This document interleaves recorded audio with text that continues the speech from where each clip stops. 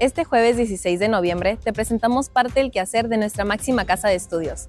Estas son las breves universitarias.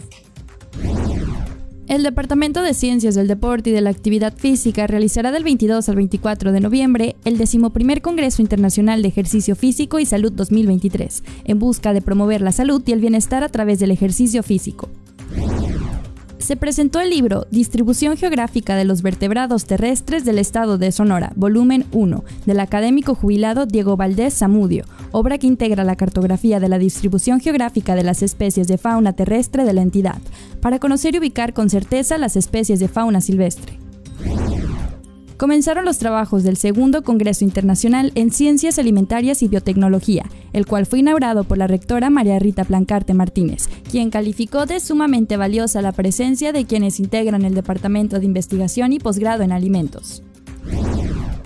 El 16 de noviembre se celebra el Día de la Gastronomía Mexicana y en este ya considerado Patrimonio Cultural Inmaterial de la Humanidad, nutriólogas del Centro de Promoción de Salud Nutricional compartieron la dieta de la milpa.